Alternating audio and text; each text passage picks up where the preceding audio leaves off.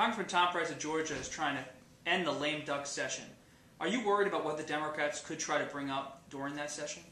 Uh, I, I, certainly am very worried because they have been unable to execute uh, on their extreme left-wing agenda over the last 18, 19 months as much as they wanted.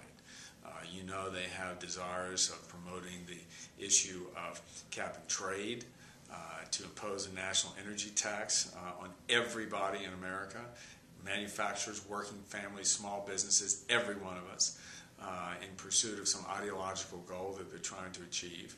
Uh, they also have been unsuccessful in promoting uh, their card check bill, which would uh, require basically forced unionization of the workforce here in America. Uh, they also are having difficulty in getting their support for hiking taxes on working people and small businesses. All of these kinds of things, I think, are going to be uh, very unlikely to uh, occur while we're in session prior to the election because who wants to go home and face the voters raising taxes?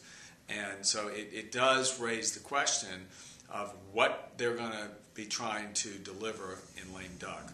So, which is why I support what Tom Price is trying to do, and that is to insist that the Democrats pledge right now uh, not to do these things, uh, not to aggravate the economy right now, not to expand government anymore uh, in lame duck, uh, and to only have a lame duck for emergency sessions, for emergency reasons.